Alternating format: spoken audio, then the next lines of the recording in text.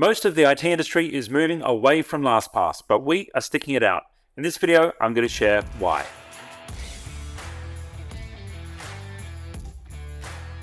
If you've been living under an absolute rock, well, you may have missed that LastPass have had a number of security breaches. But I'm going to assume that you have heard the news and that you are a concerned party in this, and I'm going to tell you a little bit about why we're deciding to stay with the platform when so many are ditching it.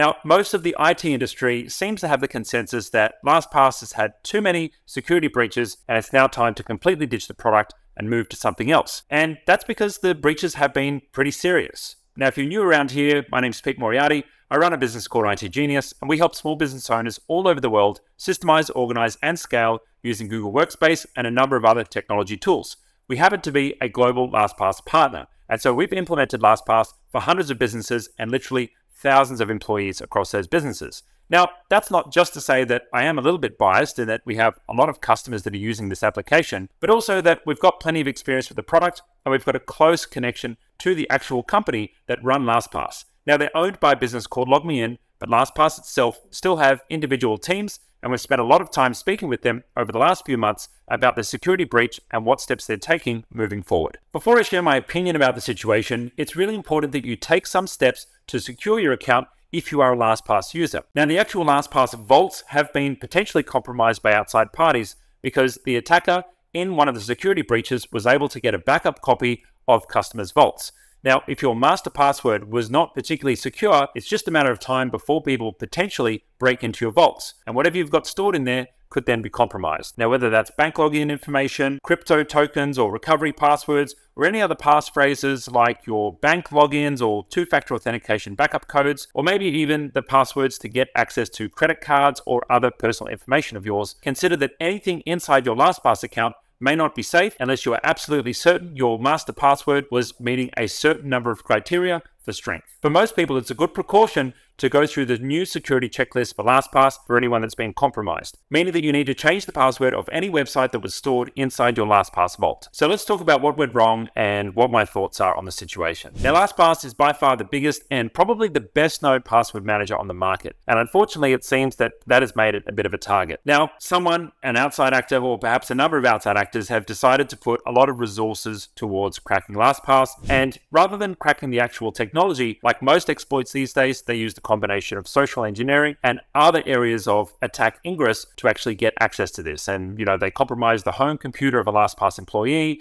They then pretended to be that employee and compromised some other people's computers and eventually got access to some of the source code and some of the development repositories of LastPass. All of this has been documented and you can go and check out blogs if you want to learn about that. Now, one of the reasons that LastPass were targeted is because of the bank vault principle. You go after the biggest player because you're more likely to get the biggest payoff. There's plenty of scammers and hackers and phishing attacks out there these days, and rather than going after just individuals, which can be time consuming and is potentially a lower payoff, going after someone like LastPass or a vault of multiple people's passwords words, is like a gold mine to hackers. So that's why LastPass have been targeted. Now, the big question here is because LastPass have had breaches in the past, is it possible for us to forgive their indiscretions. As entrepreneurs know, and if you're a business owner, you would know this, failure helps you to learn, and LastPass are certainly learning from these issues and these breaches that have happened.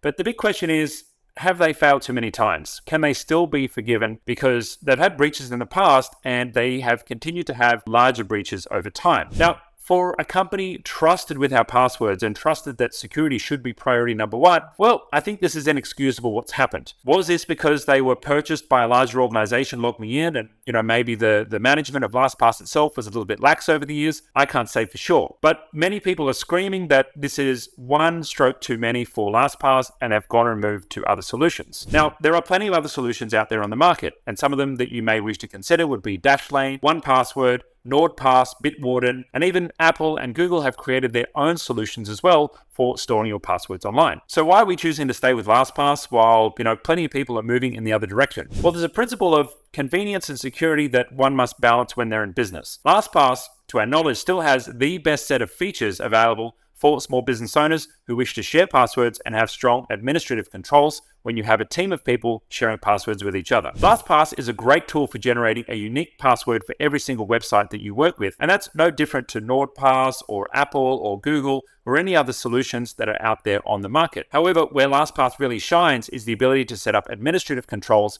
for shared folders that you can then share with your teams. And as of yet, even though we've looked, we've not yet found another solution that has the same level of administrative controls and ease of use when you're running a team. And for us, on that seesaw of managing the balance between a solution being hyper secure and making sure it has every single bell and whistle on the security side of things, which other solutions have, I would argue, better security than LastPass built in, versus the convenience and the ease of use and the business advantage of a tool that is easy enough to actually use well, that's something that every business owner has to manage. And we know what the alternative is. If you're using a tool which may be really solid for you on an individual basis, but your team may not be using it exclusively, what tends to happen is for your staff, they may reuse passwords, they may load up a password spreadsheet inside your company and put them all on, you know, a Google Sheet somewhere, or they may use the same password for every single website that they use lowering their security. We find that when teams roll out LastPass, their teams are more likely to store passwords in shared folders, and they're also more likely to generate unique passwords for every single website because that culture of using LastPass basically gets bedded into a team. So for that reason, we choosing to stick with LastPass internally inside our business, knowing that with all of the PR that's happened for LastPass, they are hiring the best security experts, both internal and external outside the business to make sure that they are improving their product. Now, for some, they may say, well, clearly there's a cultural problem at LastPass and it's unforgivable what's happened. And for those of you, I understand. But I also understand that businesses learn from their mistakes, and I'm hoping that LastPass will. Now, if you're wondering, isn't Pete paid to say this? If you're a global LastPass partner, aren't you making money and you're financially invested in recommending LastPass? Well, that is true, but let me explain exactly how much LastPass makes up our business. Now, we are a reseller and we make our money from introducing small businesses to technology tools. Our primary tool that we use and that we make most of our money from is Google Workspace. We also have a CRM tool, Copper CRM. We're a partner with Asana. We're a partner with Zapier. We're a partner with Hiver. We're a partner with Dialpad. And of course, LastPass is in there as well, as well as a multitude of other products, including backups for Google Workspace as well. Now, LastPass makes up a fraction of our revenue, and to be honest, it's insignificant. And so when we bundle billing and we put everything on one invoice for our customers, it makes it much easier for them to do business and they can come to one person for support for all of their tech products. So LastPass is not really going to move the needle for us in terms of changing to another provider. And I don't really care that much about it. Where this is most embarrassing for us as an IT provider and as a consultant is we've been recommending LastPass for about a decade now. And we pride ourselves on having the integrity to recommend products that we know are going to be solid for our small business customers. And LastPass is kind of like one of those friends that like keeps messing up and you keep nudging them and you're like, hey dude, what's going on? But time and time again, LastPass have had repeated security breaches. So I guess this is the last chance that we're giving LastPass to make sure that their security is improved for us to continue to partner with them. And it's been a challenging discussion internally inside our business to be able to continue to support LastPass when we have many customers who are asking us questions. Is it still a good idea to even trust this business with your data? So let's step back and cast our gaze to the future.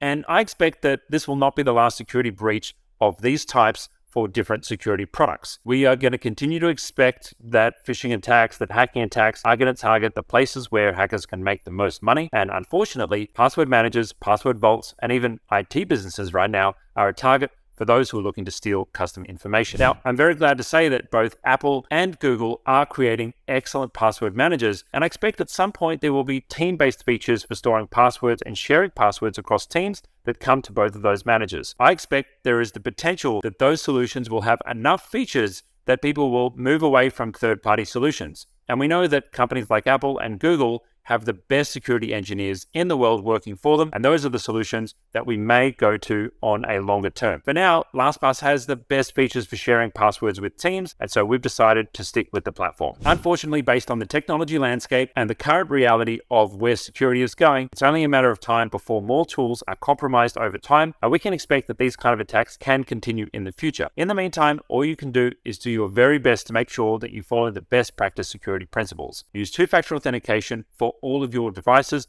and all of your accounts. Number two, if you can use a physical security key instead of relying on something like a phone number, that's going to give you an extra layer of security. Number three, if you want to have a security audit to check your whole security stack, well, you might be interested in chatting to IT Genius or On-Site Helper, depending on the size of your business. And there's links below to get in touch with our team for a security audit on what's going on inside your business. But number four, making sure that you've got the correct randomization of passwords happening across all the accounts, not only for you, but also for your team as well. LastPass is one of the best tools to allow you to be able to create a random password for every single website that you use and then to be able to securely share that with the rest of your team. I expect in the future we're going to be using less and less of passwords. We're seeing passwordless management happening across Google and Microsoft and Apple as well. And each of those solutions are going to allow us to authenticate more as a human with less typing in passwords and therefore less ability for other outside actors to get access to our accounts. Yet, suffice to say, we're not there yet, and it's going to take a few more years of development for that passwordless future to arrive. But in the meantime, LastPass, I believe, is still a good solution for your business. But if you think I'm totally crazy, let me know in the comments down below. I'll look forward to the discussion there. See you next time. If you like this content, please hit subscribe and hit the bell notification so you can be notified when we go live or drop new content on the channel. Now, if you'd like to connect with us, hit us up on social media or join our free community group. All the links to that are right below this video. If you'd like to learn more about Google Workspace and the technology ecosystem, you can join our free Genius Academy by transferring your billing across to IT Genius. Or you can join a Workspace Basics Bootcamp. Now, if you're a business owner and you're interested in an audit on your technology stack or your workspace account, or you're looking to do a project in the tech world, well, you can take advantage of our free consultation. And if you need help right now, then consider joining Concierge or taking up a quick fix with our team for professional support for your tech stack.